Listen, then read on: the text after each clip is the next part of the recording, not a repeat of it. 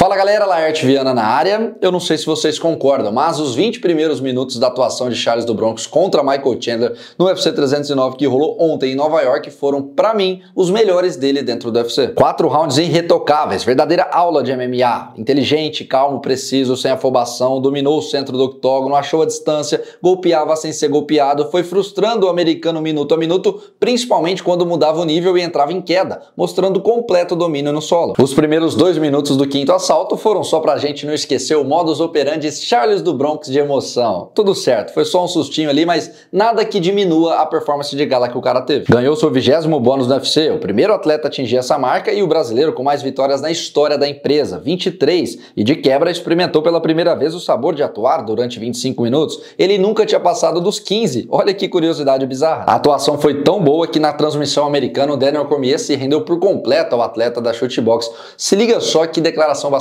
interessante. Abre aspas. Charles Oliveira desenvolveu sua trocação ao ponto que ele pode atacar em pé os melhores lutadores do mundo. Ele é completo tecnicamente, ele é bom em tudo, não há mais fraqueza. Acho que ele fez tantas coisas de maneira certa que agora é difícil encontrar uma maneira de vencê-lo. Sabe o que é o mais impressionante de tudo isso? Charles lutou machucado. Na coletiva, pós-evento, ele revelou que quase, por muito pouco, não precisou deixar a luta. Abre aspas de novo. Não queria falar sobre isso, mas eu tive uma lesão no joelho direito e tive que ficar um tempo parado. Mas eu quero agradecer a minha equipe que não deixou eu desistir. Eu tive muitas dores e quero agradecer a Deus, porque só eu e a equipe sabemos tudo que a gente passou. Tive que ficar sem treinar para poder chegar aqui bem. Para quem já estava descartando o Charles, dando ele como carta fora do baralho, vai ter que repensar, né? Mudar a maneira de enxergar as coisas, porque o cara provou que aos 35 anos segue melhorando, evoluindo. Não sei a gravidade da lesão, vou até perguntar isso pro próprio Charles nessa segunda-feira. Vou gravar um bate-papo exclusivo com ele, então fiquem ligados e já deixem aqui nos comentários as perguntas, o que vocês têm de dúvidas em relação para eu passar para o Charles,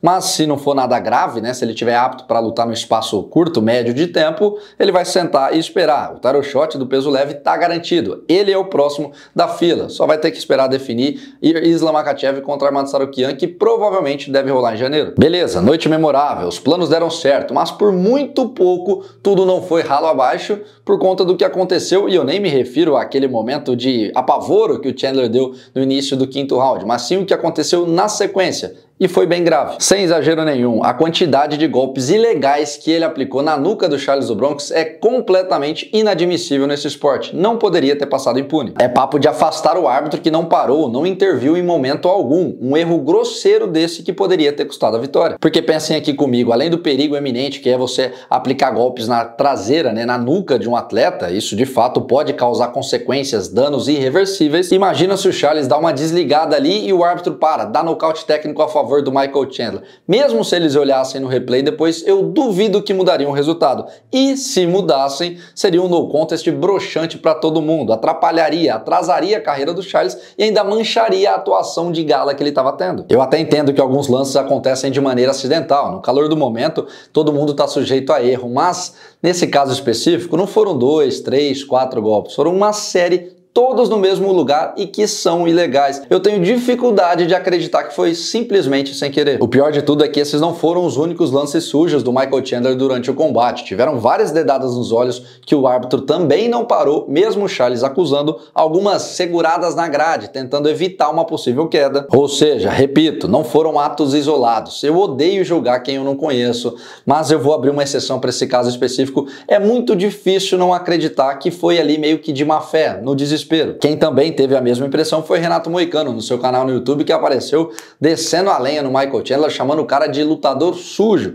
Disse até que conversou com o Dustin Poirier, seu parceiro de treinos da América Top Team, e o Diamante disse que, de fato, o ex-campeão do Bellator tem como costume fazer coisas ilegais, tentar trapacear durante as lutas. Tanto que até outros lutadores que não tinha nada a ver com o caso também se manifestaram nas redes sociais. A gente não marca socos na nuca nunca mais, reclamou Jessica Penn, assim como Sodiq Youssef, que mandou um que mudança absurda, 56 socos na nuca, mas hey! O peso pena Billy Quarantillo ironizou. Chandler estava perdendo os quatro rounds, então o árbitro deixou ele soltar todos os golpes na nuca de Charles. São episódios assim que mancham a credibilidade e podem mudar carreiras. Dessa vez, felizmente, não aconteceu nada, acabou não interferindo no resultado final. Mas se lembram do início do ano, quando Chris Weidman e Bruno Blindado se enfrentaram e o ex-campeão peso médio quase furou os olhos do brasileiro de tantos golpes ilegais e ainda foi beneficiado beneficiado, foi vencedor e nada aconteceu?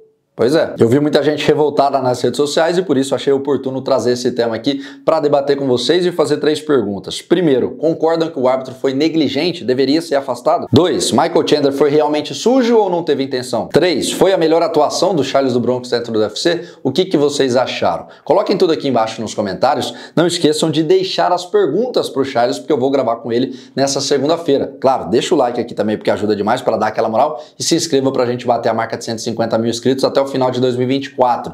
Só clicar aqui na, no joinha ajuda demais. Maurício Ruff, vou gravar com ele daqui a pouco. Enquanto você assiste esse vídeo, provavelmente já terei gravado. Tá me esperando. Assim que eu terminar aqui, vou gravar com o Ruff e muitos outros conteúdos também, o futuro de John Jones. Muita coisa vem por aí nos próximos dias. Então eu conto com a companhia de vocês. Fiquem ligados aqui no canal.